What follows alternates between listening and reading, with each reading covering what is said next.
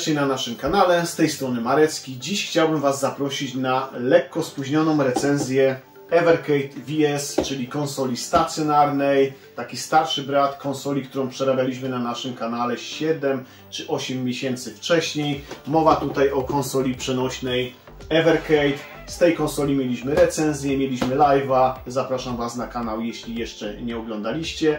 No i konsolka, po której nie spodziewałem się zbyt wiele, a zostałem bardzo pozytywnie zaskoczony. Myślę, że w przypadku tego sprzętu będzie jeszcze lepiej, gdyż no nie jestem wielkim fanem konsolek przenośnych. Ten sprzęt dla mnie ratował fakt, że mogliśmy podłączyć tą konsolę do telewizora i ogrywać jako normalną konsolkę do gier, taki stacjonarny sprzęt. Oczywiście mogliśmy tam tylko zagrać w jednego gracza, co właśnie też zmienia ten sprzęt. Tutaj mamy do czynienia z zestawem Premium Pack, który ma już w środku dwa pady i od razu dwie dołączone składanki. Zaraz zajmiemy się unboxingiem, później potestujemy sobie ten sprzęcik. Spróbuję podłączyć jeszcze konsolę Evercade przenośną, która podobno działa również jako dodatkowy pad do konsoli Evercade VS. Tego też jestem ciekaw i myślę, że za kilka tygodni również zrobimy sobie live'a z tej konsoli, więc jeśli dziś zapomnę o czymś w tej recenzji, napiszcie w komentarzu, jeśli macie jakieś dodatkowe pytania i tym zajmiemy się już na live'ie. Zapraszam Was serdecznie na dzisiejszy materiał. Jeszcze zanim zaczniemy, zróbmy sobie taki szybki recap z historii marki Evercade. A więc prace nad pierwszą konsolą Evercade rozpoczęły się w roku 2018 z premierą początkowo planowaną na 2019. No to jednak ostatecznie się nie udało i produkt dotarł na półki sklepowe w maju 2020 roku i początkowo był oferowany w dwóch wersjach. Były to Starter Pack, czyli konsola plus jeden kart, tam była kolekcja od Namco i Premium Pack, czyli konsola plus trzy karty z kolekcją od Namco, Atari i Interplay. Za samą konsolę odpowiedzialna jest brytyjska firma Blaze Entertainment, którą wcześniej mogliśmy poznać za sprawą różnych produktów na licencji Atari i innych gadżetów związanych z retro gamingiem. Jej największy projekt, czyli konsola przenośna Evercade, staje się dość szybko sporym hitem na rynku, a większość recenzji wskazuje użycie kartridży ze składankami gier jako główne źródło sukcesu. No i do wspomnianych już początkowo Namco, Atari czy Interplay dość szybko dołączają kolejni wydawcy jak Data East, Pico Interactive, Technos, TM17, no a od niedawna również Codemasters, Bitmap Brothers, Gremlin czy Renovation. Widząc sukces konsoli przenośnej, firma Blaze idzie za ciosem, no już w marcu 2021 roku zapowiada konsolę stacjonarną Evercade VS.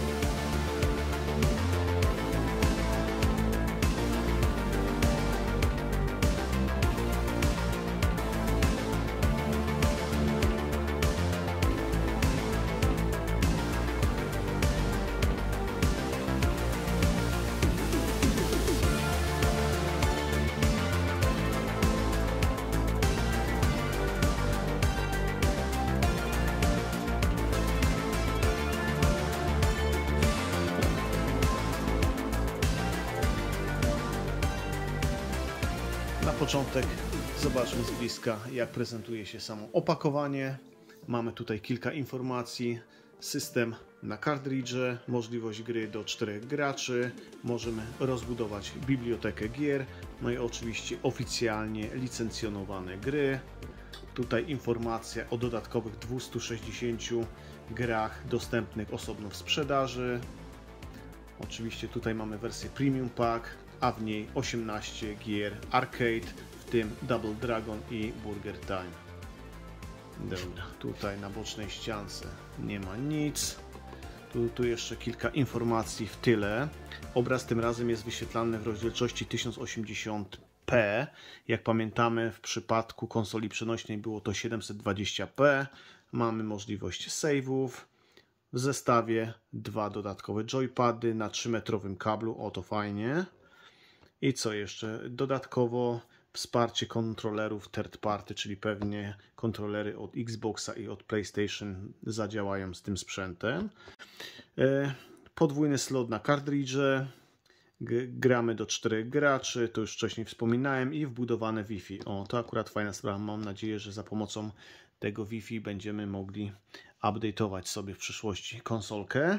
No i tutaj jeszcze polecane zestawy gier. Dobra, może zobaczmy jeszcze na tą boczną ściankę, czyli co powinno znajdować się w środku. Sama konsola, dwa kontrolery, kabel mikro USB, dwa kartridże i instrukcja. Dobra, zajrzyjmy, zajrzyjmy teraz do środka.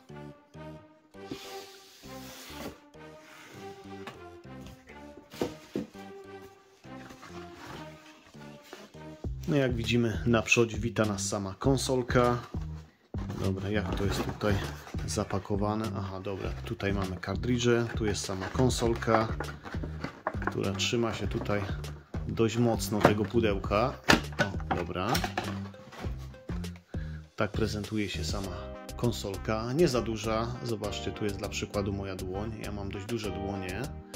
No, więc nie jest to duży sprzęt. Trochę przypomina Nintendo Wii. Nie wiem czemu, ale przypomina mi to Nintendo Wii.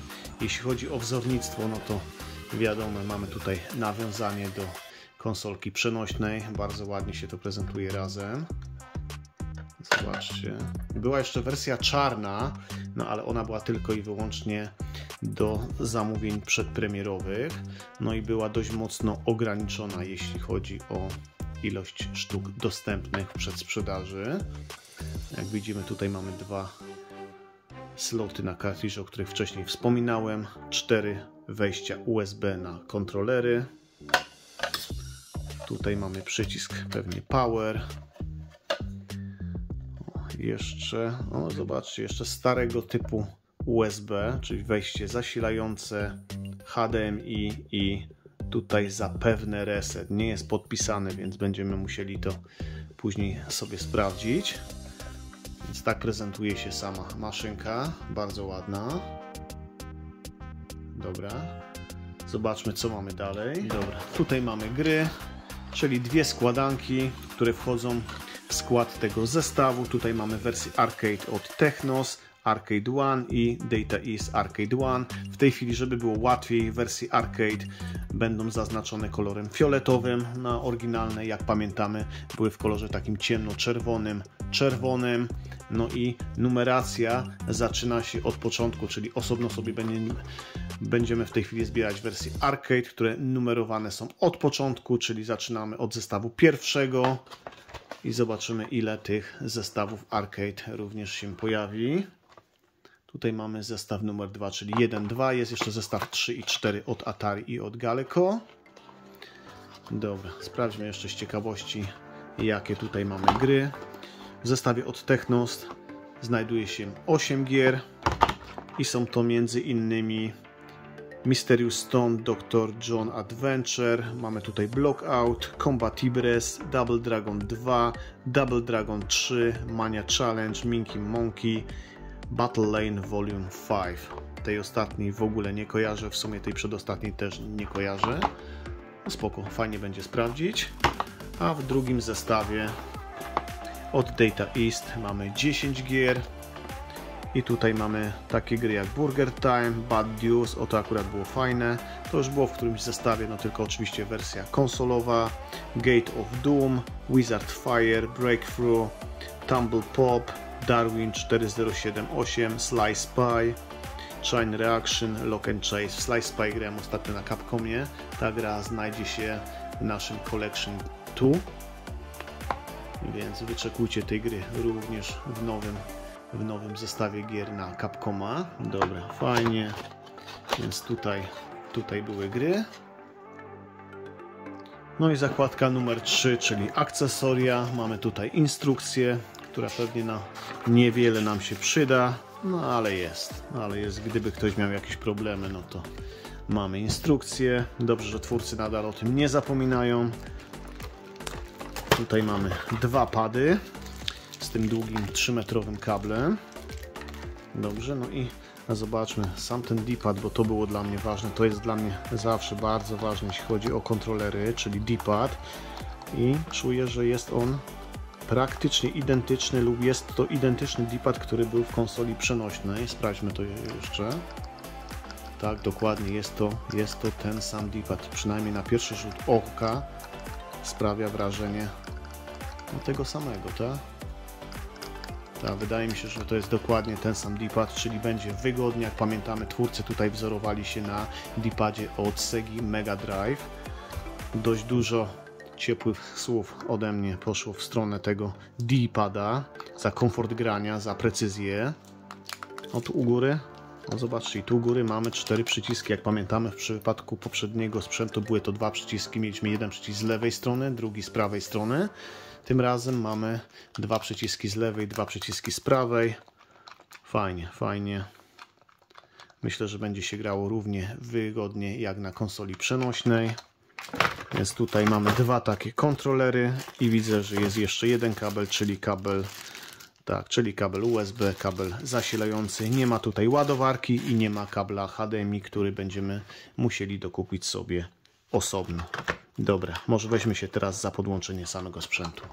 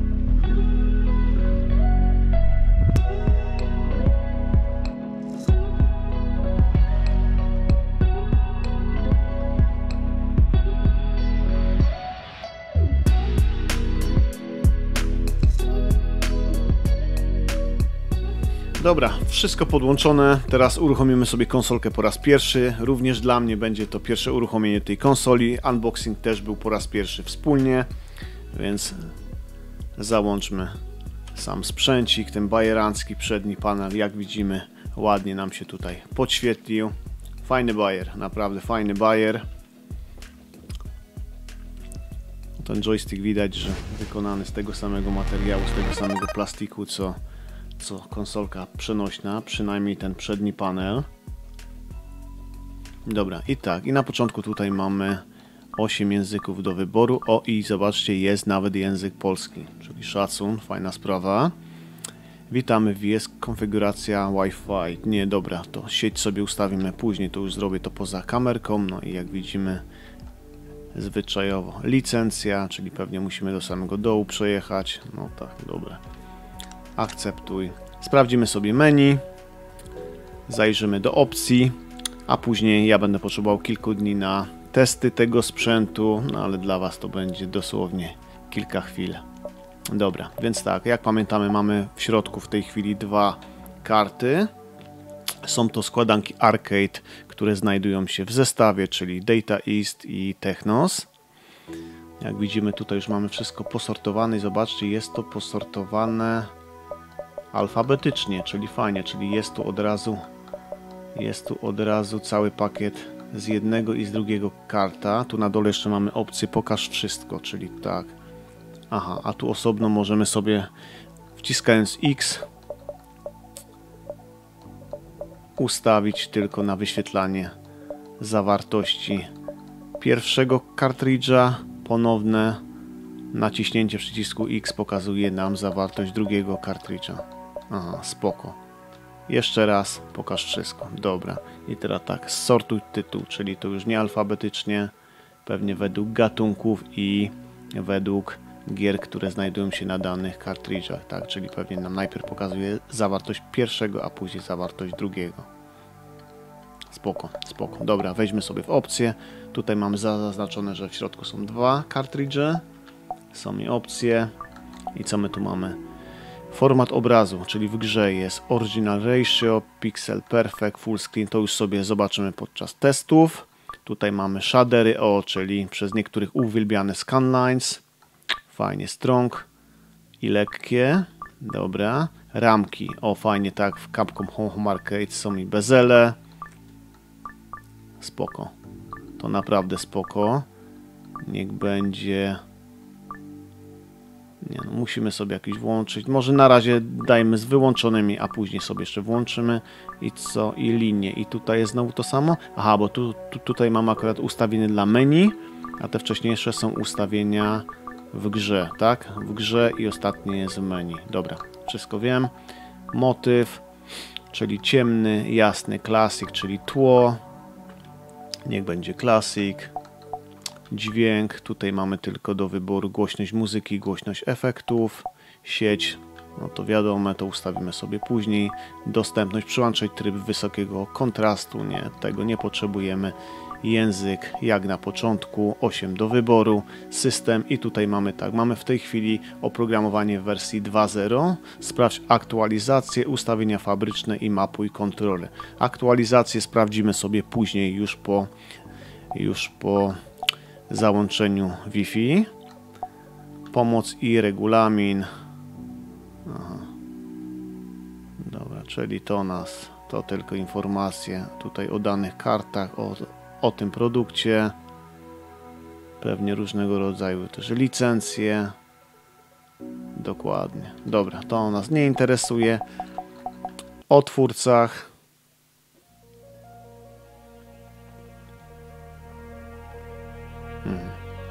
Łoch, no zobaczcie. To są chyba osoby, które wspierały projekt, tak? Evercade VS Funders, dokładnie, czyli tyle osób wsparło ten projekt. No, sporo. Sporo, dobra. Nie będziemy na to tracić czasu w tej chwili i tajne. Czyli z tego co wiem jest to miejsce, gdzie wpisując różnego rodzaju kody będziemy odblokować kolejne gry. No, no więc jak widzicie menu jest takie proste, ale niczego tutaj raczej nie brakuje. Przynajmniej takie mamy pierwsze wrażenie. Dobra. Więc tak. My widzimy się za chwilę, a ja w tej chwili poświęcę około, nie wiem, 4-5 dni, w zależności ile znajdę czasu w tym tygodniu. Przetestuję sobie konsolkę, a z Wami widzę się za chwilę.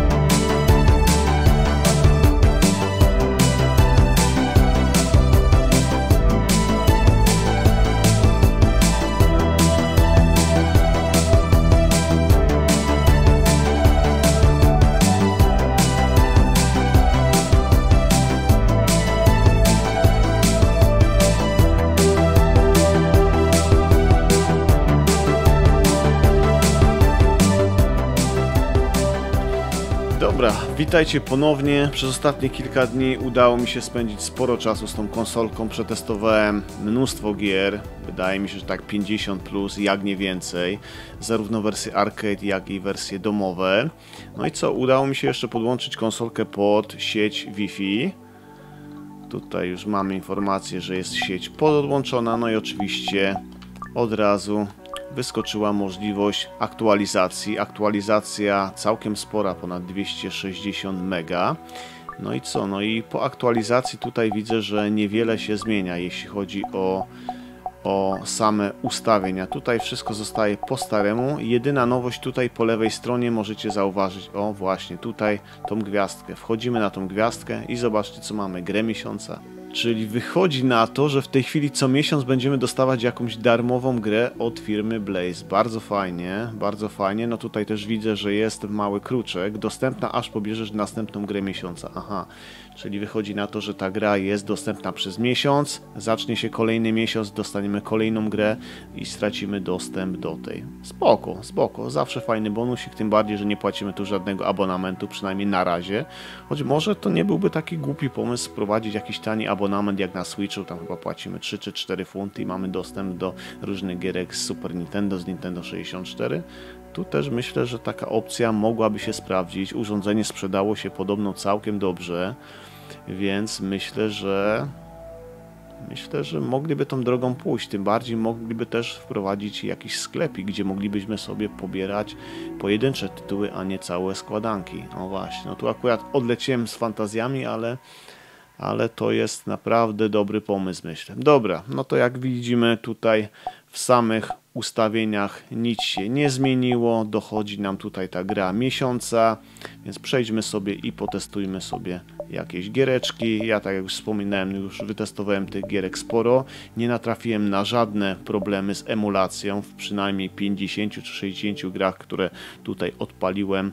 Aktualnie nie było żadnych problemów. Teraz odpalimy sobie jakieś dwie gierki arcade, jedną z gier, które też odpalaliśmy sobie na handheldzie. Myślę, że będzie to Xenocrisis, czyli moja taka jedna z ulubionych gier na Evercade. No i co? No i później sobie zrobimy jakieś podsumowanie. Dobra, może zacznijmy od Bad Dude versus, versus Dragon Ninja. Dobra, myślę, że ten tytuł będzie dobry na początek. Graj. Dobra, jako że na pierwszy ogień poszła gra arcade, odpalamy je w ten sposób. Pod selectem wrzucamy kredyt, czyli wrzucamy sobie blaszkę, no i pod startem jest oczywiście start. Teraz tutaj sprawdzimy sobie te ustawienia ekranu, czyli przycisk menu, ustawienia ekranu. W tej chwili mamy ustawienia defaultowe, czyli oryginalny rozmiar. Zobaczymy sobie jak to wygląda na dopasowanych pikselach. Tutaj już widzimy, że obraz będzie mniejszy ale wygląda to praktycznie tak samo. Sprawdźmy jak będzie to wyglądać na pełnym ekranie. Otóż mocno to rozciągnięte jest i obraz jest taki dość mglisty, więc nie, na pewno nie. Zostaniemy przy oryginalnym rozmiarze i teraz przez niektórych uwielbiane scanliny.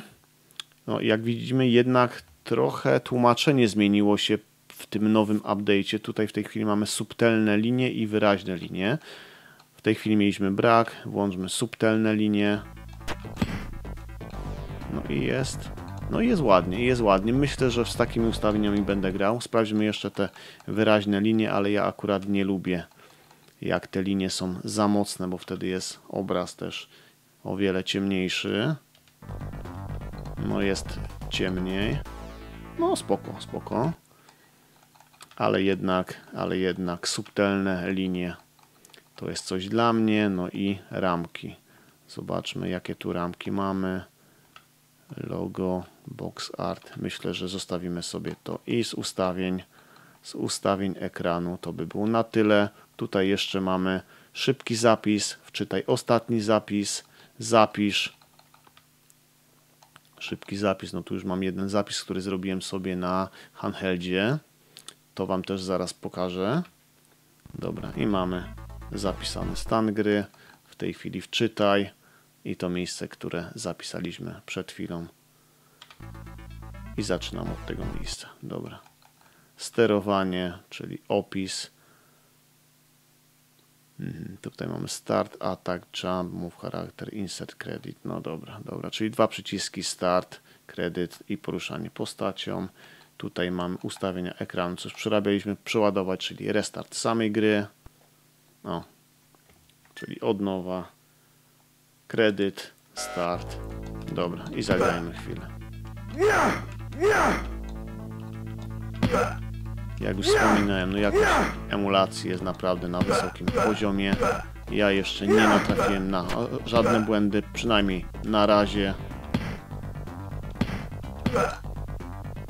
Got.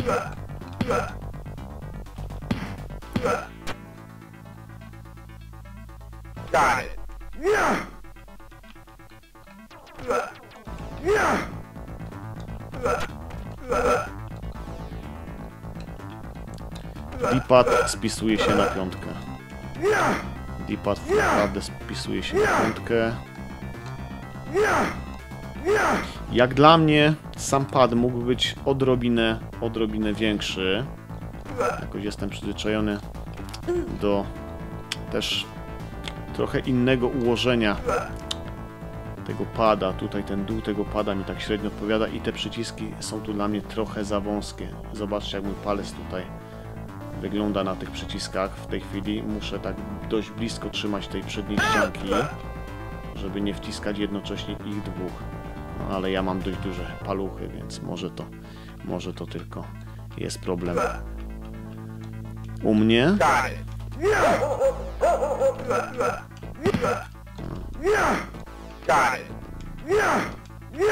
jest precyzyjnie, co możecie zobaczyć na samym gameplayu. Wszystko, wszystko tutaj chodzi tak jak powinno chodzić. Oczywiście no moim wzorem kontrolera jest kontroler od Xbox One, czy od Xboxa 360, no bardziej od One, bo jest dopracowana wersja tego Xboxa 360, którego też możemy tu sobie podłączyć i zaraz to zrobimy, ale to już przy okazji kolejnej gry.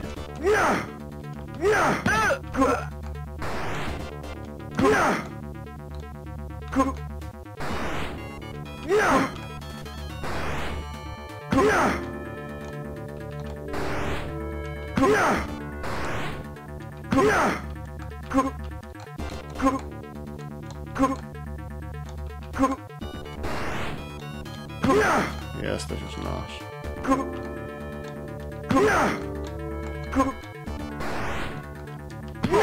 Leż. Gra się bardzo dobrze. Gra się, gra się bardzo dobrze na tym kontrolerze. Jestem zachwycony tym D-padem, ale to już wspominałem wcześniej. Przy handheldzie gra się tak samo. Dobra. Przełączmy się na jakąś jeszcze inną gierkę.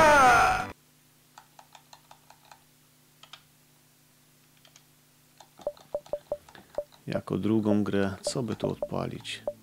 Może jakąś bijatykę, nie? Niech będzie Combatibres, o. To jest też fajna gierka. Graj. Ostatni zapis. Graj.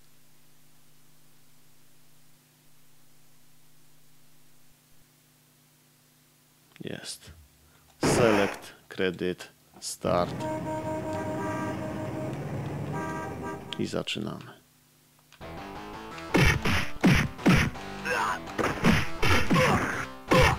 Bardzo fajna gra, dość zbliżona do Double Dragon, ale osobiście mi się w nią lepiej gra niż Double Dragon.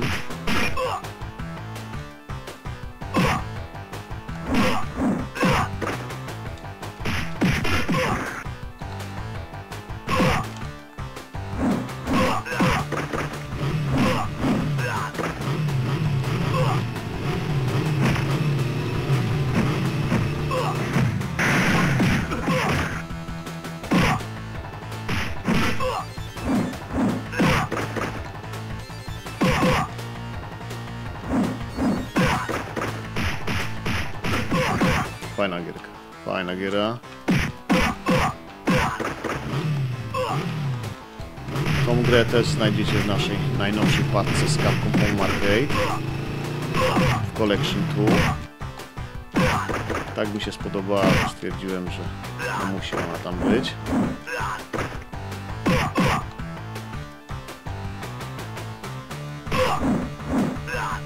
Jeszcze możemy dobijać wrogów tak na wendetcie.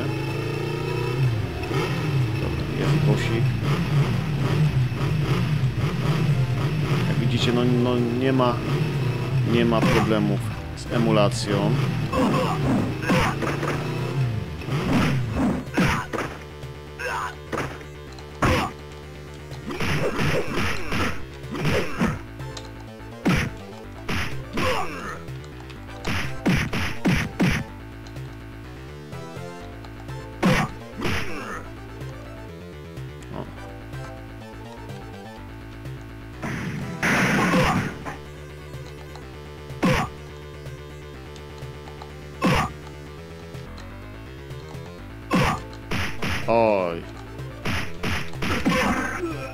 Jest, ale fuks, ale miałem skali, jest zero. Dobra, pierwszy układ zaliczony. No dobra, i teraz przełączmy się na jakąś grę, którą ogrywaliśmy wcześniej na handheldzie styli, czyli z wersji, z wersji konsolowych, czyli karty czerwone. i tam załączymy sobie Xenocrisis, tam też przepniemy kontroler. Mam tu na wierzchu kontroler od Xbox One'a i taki kontroler sobie sprawdzimy. O, właśnie i jeszcze dodatkowo mam tutaj też na wierzchu kontroler z Amigi 500 Mini. Ciekaw jestem, czy ten kontroler też tutaj zadziała. Dobra, sprawdźmy to. Dobra, jesteśmy już w menu. Teraz cartridge z Xenocrisis. Fajne jest to, że nie musimy wyłączać konsoli, żeby wyjąć karta, tak samo jak było na handheldzie. Zobaczcie, wyjmujemy kart, zmniejsza nam się tu biblioteka gier w menu. Drugi kart, brak cartridge'a. W tej chwili wrzucamy kart z kolekcją Xenocrisis i Tanglewood. Zobaczcie. O, pojawia, pojawia nam się menu i dwa tytuły do wyboru. Też mogliście, nie wiem czy wsłuchaliście się, zobaczcie jeszcze raz. I posłuchajcie, powinien być taki klik, taki odgłos wchodzącego kartridża w tych starych konsolach. To też taki fajny smaczek. Czekajcie, ja tutaj podgłośnie, żeby było słychać. O, wpytę, nie? dobra, dobra, dobra, dobra. I odpalmy sobie, odpalmy sobie Xeno Crisis. Graj. Zaraz tu podłączymy sobie jeszcze kontroler. Tylko wejdziemy do samego menu. Dobra, więc tak, tu jesteśmy w menu, tu widzimy, że oryginalny kontroler śmiga, bo musi śmigać. Teraz odłączamy kontroler. I tak, tutaj mam kontroler do Xbox One'a. To taki Minecraftowy, to syna, to nie, żeby to był mój pierwszy wybór, jak poszłem do sklepu. No i tak, i podłączymy go za pomocą kabla USB. Dobra. Dostał zasilanie i zobaczcie. Wszystko pięknie śmiga. Czekajcie, ja wyciszę trochę. Dobra. Jak widzicie, wszystko, wszystko ładnie chodzi. Sprawdzimy jeszcze w samej grze. O, przyciski też już są z automatu zmapowane, ale jak, jak pamiętacie, w głównym menu w ustawieniach mieliśmy też opcję mapowania kontrolera, więc możemy to już sobie ustawić tak jak chcemy.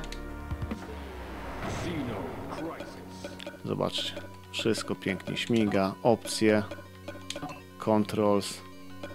Tu możemy sobie też pozmieniać co chcemy. Nie, niech zostanie tak jak było. Dobra, back. Szkoda, że tu analogi nie będą działać, bo to już by było mistrzostwo świata wtedy, no ale... Ale sprawdzę to i tak, z ciekawości. Nie, nie, no nie ma szans, ale...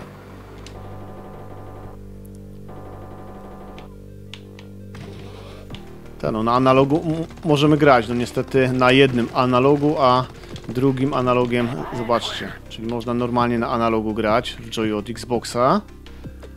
Tutaj strzelamy. Niestety strzelamy przyciskami, bo drugi analog jest odłączony, no. Ale fajnie. Fajny bajer. W tej grze akurat na analogu się będzie świetnie grało. Dobra. Zmieńmy kontroler na... Kontroler... Kont... Sorry. Puh, tfu. Kontroler od Amigi 500 Mini. Muszę się napić czegoś, zasło mi w gardle. Dobra, sprawdźmy. I zobaczcie, od razu śmiga, natychmiastowo, natychmiastowo śmiga, przyciski śmigają wszystkie. Tutaj strzelamy. Aha, czyli ten górny tu nie jest w tej chwili ustawiony, czyli musielibyśmy sobie wejść do menu i ustawić jeszcze, jeszcze ten górny przycisk. Dobra, no ale jak widzimy, ale jak widzimy ładnie śmiga. Dobra, jeszcze tutaj jedną opcję mam, którą możemy sobie sprawdzić. Nie wiem, czy to będzie działać, ale... Ale czemu, czemu by tego nie sprawdzić, czyli Capcom Home Arcade. Dajcie mi chwilę, dajcie mi chwilę, tylko przyniosę tu ten sprzęt i zaraz spróbujemy go jeszcze podłączyć. Dobra, jesteśmy, Capcom jest tutaj z nami, zaraz go podłączymy. Do tego celu użyjemy kabel, który używaliśmy wcześniej przy padzie do Xbox One'a.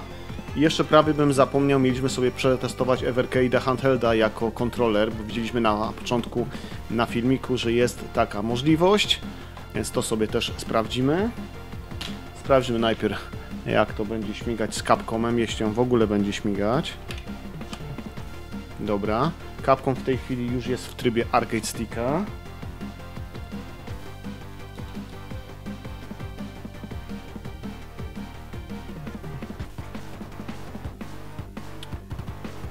Coś długo się uruchamia.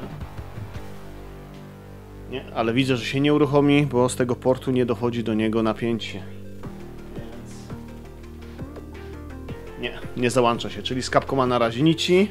Dobra, czy albo ja coś robię źle, albo po prostu w tej chwili jeszcze Capcoma nie możemy użyć z Evercade'em. Dobra. I sprawdźmy jeszcze za pomocą tego samego kabla. Evercade'a. Dobra, możemy go pewnie podłączyć tylko i wyłącznie tutaj. Tu jest kabel do obrazu, czyli no na pewno tutaj, dobra. Dobra. Dobra, tu widzimy, że zasilanie jest, bo jest dioda odładowania. Nie, pewnie musimy włączyć sprzęcik. No i zobaczymy.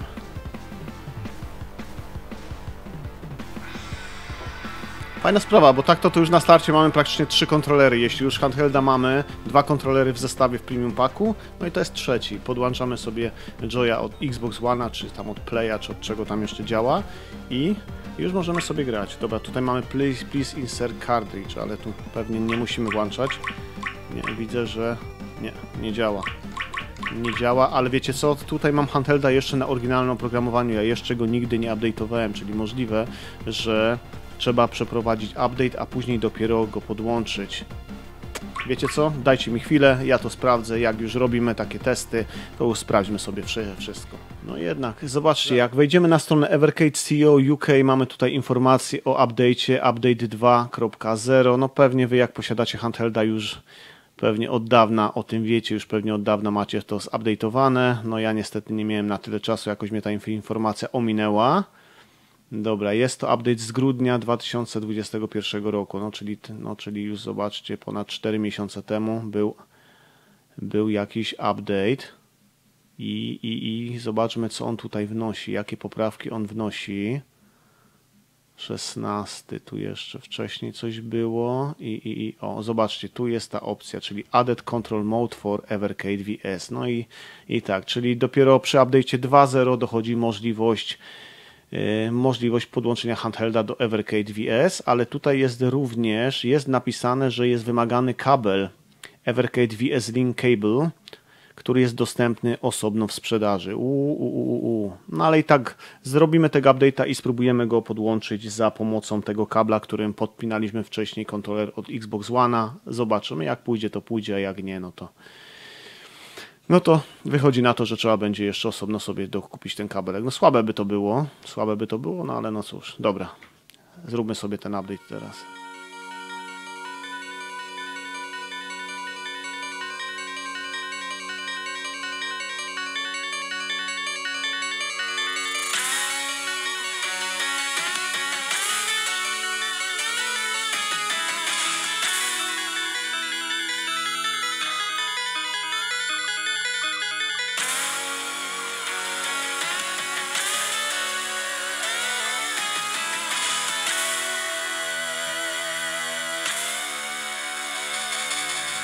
Dobra, jak widzieliście, nasza konsolka ma już najnowszy firmware, firmware 2.0. W tej chwili tutaj samo menu wygląda dość podobnie jak w konsoli stacjonarnej. Doszły tu nowe opcje, których wcześniej w przenośniaku nie było.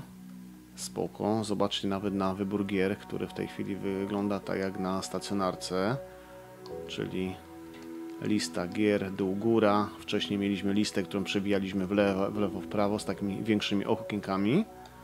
Fajnie.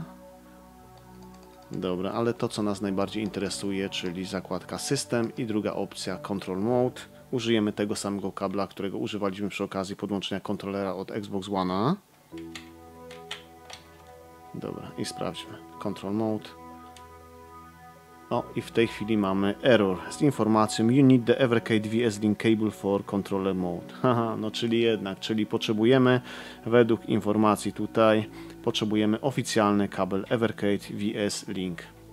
No kicha, czyli musimy ponownie zanurkować do kieszeni, wysupłać jakieś dodatkowe funty czy złotówki i zaopatrzyć się w kabel, jeśli chcemy używać tej konsoli jako kontroler. No niestety, niestety. Dobra, przełączmy się jeszcze do menu i pokażę Wam na koniec fajny smaczek, a później zrobimy sobie podsumowanie.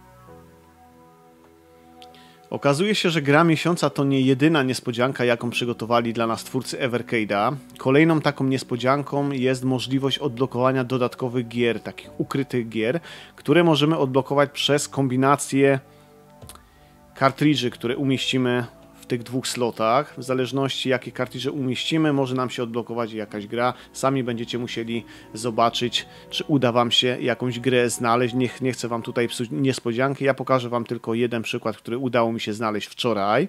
Też podpowiem, że szukajcie też z kolekcjami Atari. Tam też jest coś do odblokowania. Mi akurat mi akurat udało odblokować się niespodziankę przy zestawach Pico. Tutaj Pico Collection 1 i Pico Collection 2. Już pokażę Wam o co chodzi.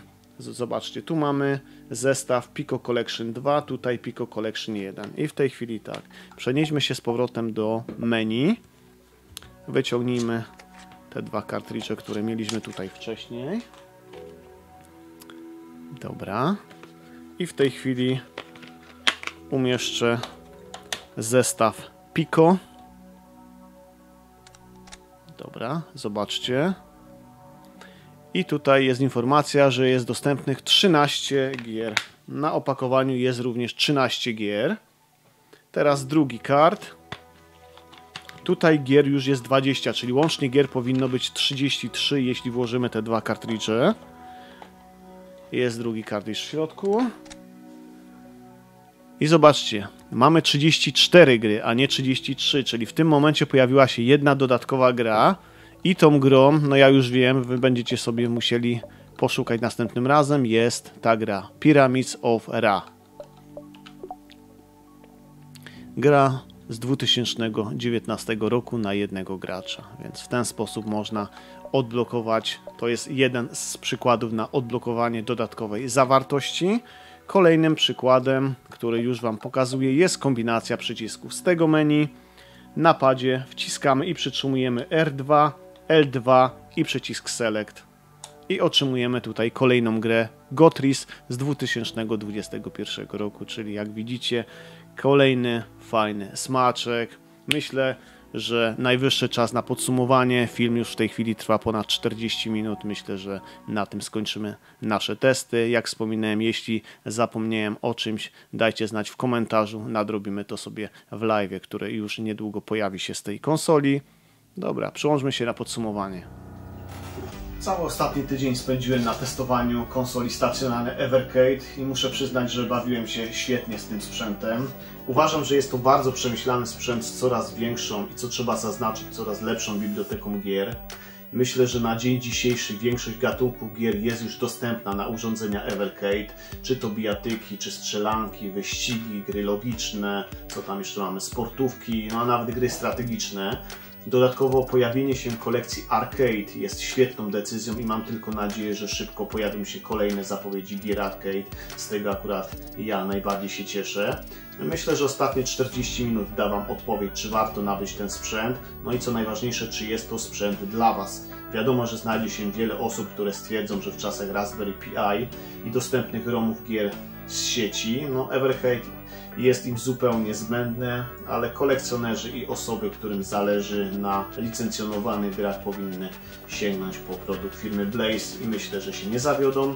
No tutaj również jak w przypadku konsoli przenośnej są dostępne zestawy dwa zestawy, czyli Starter Pack, zestaw z jednym padem i z jedną składanką Arcade w cenie 89,99, tutaj cena akurat w funtach i zestaw, który był prezentowany dzisiaj za 109,99, czyli tutaj mamy dwa pady i dwie składanki arcade. No, są również minusy. Jeden minus to jest taki bardziej, myślę, indywidualny minus, bo nie słyszałem, żeby wiele osób na to narzekało. U mnie akurat nie wiem, czy ze względu na moje nieproporcjonalne tutaj wielkie paluchy. No ja naciskam nieraz te przyciski i jednocześnie te przyciski u góry są dość wąskie. Akurat bardziej byłem przyzwyczajony do tego, do tych przycisków, które są na handheldzie, czyli tutaj taki jeden większy przycisk z lewej strony i jeden większy z drugiej. To dla mnie to taki w sumie jedyny minus, który udało mi się tutaj znaleźć. Jak widzicie, taki dość mocno naciągany ten minus, no ale muszę o nim wspomnieć.